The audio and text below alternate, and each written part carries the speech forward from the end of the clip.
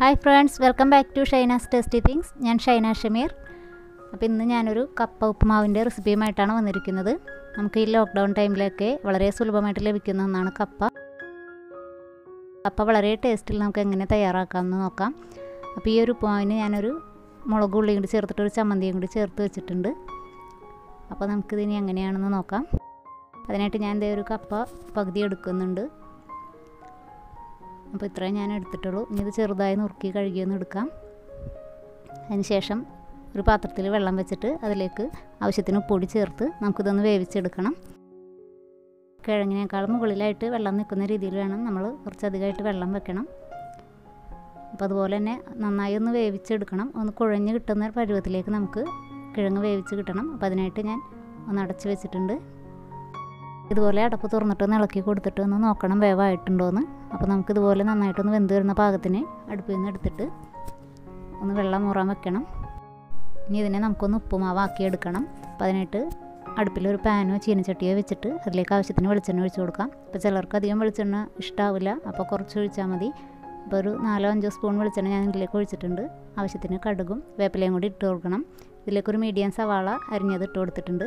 അപ്പോൾ സവാള നമുക്ക് നീളത്തിൽ തന്നെ അരിഞ്ഞിട്ട് കൊടുക്കുന്നതാണ് നല്ലത്. ഇതൊന്ന് വാടി വരുന്ന സമയത്ത് നമുക്ക് ഇതിലേക്കൊരു കഷ്ണം ഇഞ്ചിയും കൂടി ചേർത്ത് കൊടുക്കാം. അപ്പോൾ സവാള ഒരുപാടൊന്നും വാടിപ്പോകണ്ട. ജസ്റ്റ് ഒന്ന് പച്ചപ്പ് മാറി വാടി വരുന്ന സമയത്ത് ഇഞ്ചി ചേർത്ത് കൊടുക്കാം. ഇനി ഇതിലേക്ക് ഒരു അരമുറി തേങ്ങയിൽ താഴെയായിട്ട് കുറച്ച് തേങ്ങയും കൂടി ഞാൻ ചേർത്ത് കൊടുക്കുന്നുണ്ട്.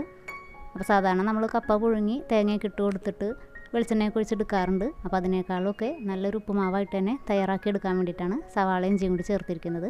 പിന്നെ പച്ചമുളക് വേണമെങ്കിൽ പച്ചമുളക് ചേർക്കാം. പക്ഷേ ഞാനിപ്പോൾ ഇവിടെ ചമ്മന്തിയും കൂടി എടുക്കുന്നതുകൊണ്ടാണ് മുളക് ചമ്മന്തിയാണ് എടുക്കുന്നത്. അതുകൊണ്ട് പച്ചമുളക് ചേർത്തിട്ടില്ല.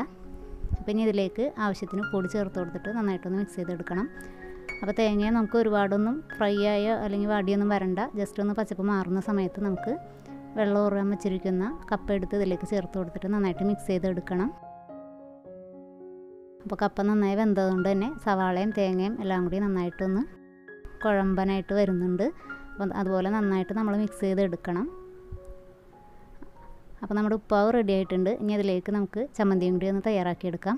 അപ്പോൾ അതിനായിട്ട് ഉള്ളിയും വെള്ളക്കാന്താരിയും ഞാൻ എടുത്തിട്ടുണ്ട്. ഇനി ഇതൊന്ന് ചതച്ചതിന് ശേഷം ഇതിലേക്ക് അല്പം ഉപ്പും അല്പം പുളിയും കൂടി ചേർത്ത് വെളിച്ചെണ്ണയും കൂടി ചേർത്ത് നമുക്ക് റെഡിയാക്കി എടുക്കാം.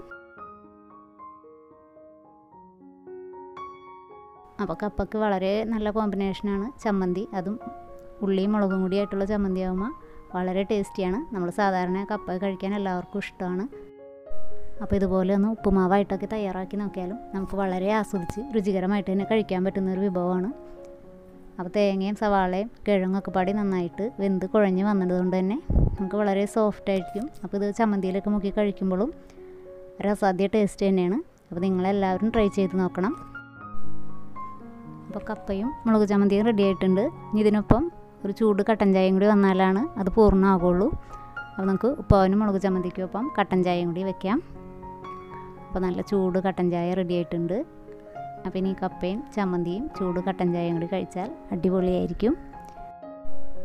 ഈ വീഡിയോ നിങ്ങൾക്ക് ഇഷ്ടമായാൽ ചാനലൊന്ന് സബ്സ്ക്രൈബ് ചെയ്തേക്കണേ. സബ്സ്ക്രൈബ് ചെയ്യുമ്പോൾ തൊട്ടടുത്തുള്ള ബെല്ലൈക്കൺ കൂടി എനേബിൾ ചെയ്യണം. എന്നാലാണ് ഞാനിടുന്ന വീഡിയോസ് നിങ്ങൾക്ക് നോട്ടിഫിക്കേഷനായി ലഭിക്കുകയുള്ളൂ. അപ്പോൾ വീഡിയോ ഇഷ്ടമായാൽ ലൈക്ക് ചെയ്യണം ഷെയർ ചെയ്യണം കമന്റ് ചെയ്യണം. മറ്റൊരു വീഡിയോയുമായി നമുക്ക് വീണ്ടും കാണാം. Thank bye bye